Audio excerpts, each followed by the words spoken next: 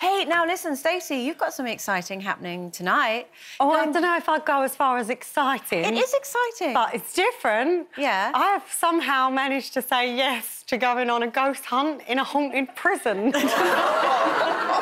I know. You, know the choice. One minute we're I in a know. camper van, now you're in a prison. don't get jealous of the ghosts I'll be spending time with.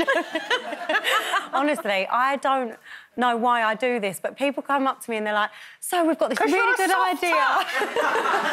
Because you just say yes more than you say no. I know.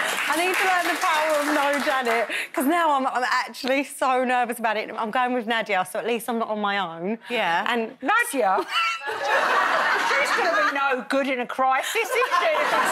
I think she's quite not scared of that type of stuff. No? Oh, God, You Janet, guys you're might making get it worse. possessed by like a serial killer or something. Excuse me. Yeah, what if you come back as another person? What if hmm. someone takes over your body? I think you'd be quite happy, wouldn't you?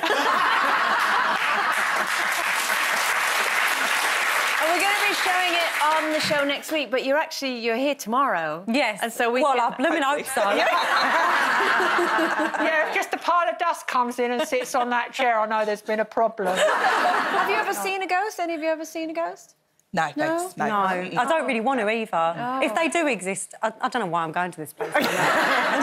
Sometimes we walk in, you just hear, get out. No. oh, listen, I'm not one of those crazy Yeah, people who's going to carry on going in. I, I, I think I've seen one. Have but it was it's unintentional. I didn't like go looking. Like you're going like ghost busting and Were stuff. you in an old building or something? I was in, it was years ago in an old flat that I lived in, and I'd, uh, people who aren't into this are going to think I'm a bit mad, but I am. I'd, I'd done lots of yoga and meditating, and because I like all that sort of thing. I was on my own, and it was night time, and I had candles and stuff, and I was at the last bit where you sort of finish your yoga and you lie down, and I was very, you know, meditative state, and then I just felt really strongly that there was someone in the house. So my first thought was burglar.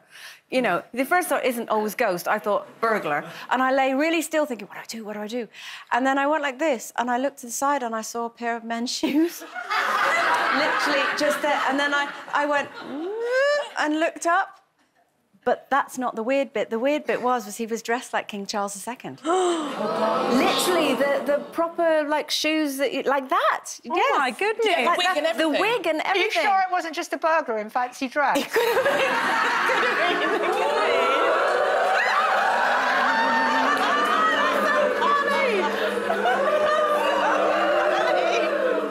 That's the most rubbish attempt at scaring anyone I have ever seen. That's rubbish. Take them away. Take them away. You like those shoes? Well, do you know what I did? Don't I just, I just shut my eyes and counted to ten, and then just went like that, and he'd gone. So there we go. If only my relationships had been easy, you know.